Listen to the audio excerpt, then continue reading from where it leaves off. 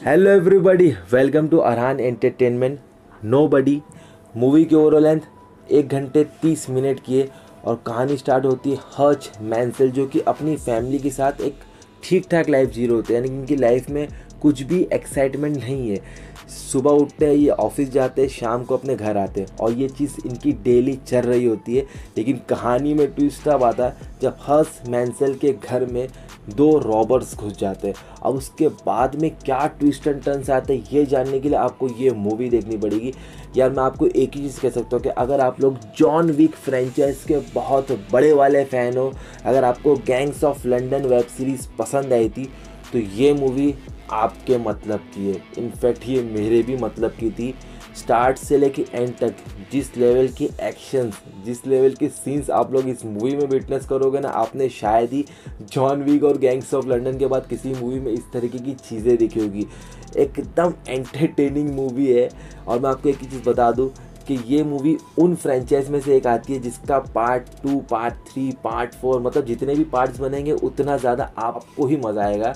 Movie में अगर characters की बात करेंगे तो भाई एक ही कैरेक्टर है हर्ष मैंसल जिसको इस मूवी में बहुत ही अच्छी तरह से लिखा और जैसे जैसे मूवी प्रोग्रेस करती है, वैसे वैसे ये कैरेक्टर आपका फेवरेट बनता जाता है। मूवी की अगर सिनेमाटोग्राफी की बात करूँ तो हर एक सीन को बहुत ही अच्छी तरह से शूट किया है स्पेशली एक्शन सीन्स जहाँ पे वो स्लो मोशन के यूज़ किया है प्लस जो अमाउंट ऑफ़ ब्लड शेयर बताया है, लेकिन जिस तरह से यहाँ पर एक्शन को कोरियोग्राफ किया है ना, लाजवाब। और चेजिंग सीक्वेंस अच्छी तरह से शूट किया है प्लस जो इसका क्लाइमैक्स था, वो क्लाइमैक्स में जो जो चीज़ें जिस अंदाज में यहाँ पर प्रेजेंट किए ना भाई, तारीफ़ करनी पड़ेगी इसकी सिनेमाटोग्राफी की। बीजीएम की बात करूँ तो भाई, हर एक एक्शन सीक्वेंस में जो आपको सॉन्ग सुनने को मिलता है, वो एक अलग ही फ्लेवर देता है इस मूवी में यार। मतलब आज वर्ड्स नहीं है इस पर्टिकुलर मूवी के लिए। और अगर एक्टर्स के परफॉर्मेंस की बात करूँ तो भाई no doubt Bob Orton Kirk जिसने यहाँ पर हर्ष मैंसल का रोल प्ले किया है, आफत, बवाल, जो लेवल का परफॉर्मेंस यहाँ पर उन्होंने किया है, जो उनकी बॉडी लैंग्वेज थी। थ्रू आउट द मूवी आप बस उन्हीं को देखते हो यार, और जितने भी सपोर्टिंग एक्टर्स हैं, सब लोगों ने अपने हिस्से के रोल को बहुत ही अच्छी तरह से निभाया। और ये जो चचा है, ये चचा ने तो समझ लो मौज कर दी भाई।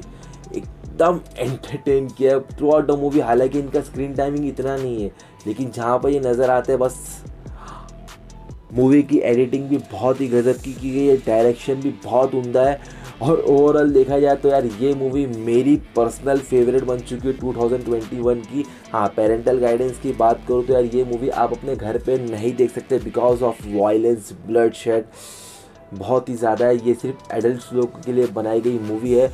मैं इसको रेटिंग दूँगा टेन आउट ऑफ़ टेन और मैं चाहता हूँ कि इसका पार्ट टू बहुत ही जल्दी आए और मे बी 2022 या 23 में देखने को मिल जाए, लेकिन हाँ भाई इंडिया में ज़रूर रिलीज़ करना है, क्योंकि इस बार कोविड की वजह से ये मूवी रिलीज़ नहीं हो पाई है। तो मैंने जिस तरह से देखा, वो तो आप लोग समझ चुके होंगे अब तक।